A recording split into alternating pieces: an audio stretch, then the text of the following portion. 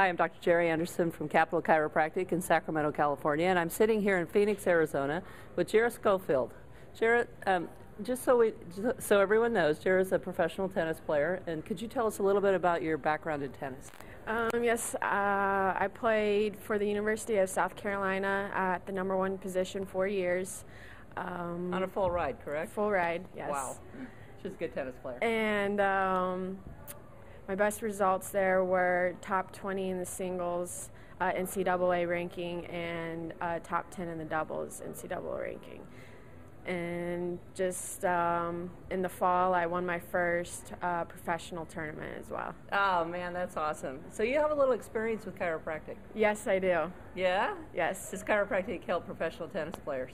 Oh, immensely. Um, I get relief from it pretty much right away. Um, just putting so much tension on my body on a daily basis um, with all the practice, and even when I'm playing, even more. Um, I just feel a lot of release.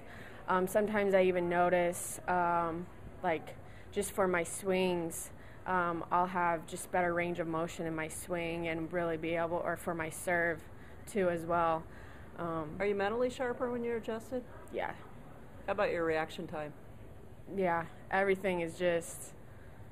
I feel more clear as well, just more clear-headed and focused, and um, Did you? and, and, and energetic too. I know, like there would be time when I was um, before college in the juniors, um, when my parents would travel with me sometimes. Um, and your dad's a chiropractor. Yes, my dad's a chiropractor. He would uh, adjust me before my matches, or sometimes in between.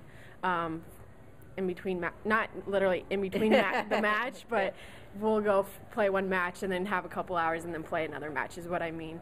Um, so in between matches, he would adjust me, um, and just from there, I'd feel more energized, ready to go for my second match. Oh man, that's so cool. Did you introduce other players to chiropractic? Uh, yes, I tried it. Um, well, I got my a lot of my teammates involved. That whenever um, my parents came to watch me in college, um, my entire team got adjusted. Did it Uh, reduce their injury rates? Um, it's hard to say because um, they're. Uh, yeah, I'm not sure with some of theirs. It definitely helped with my own injury.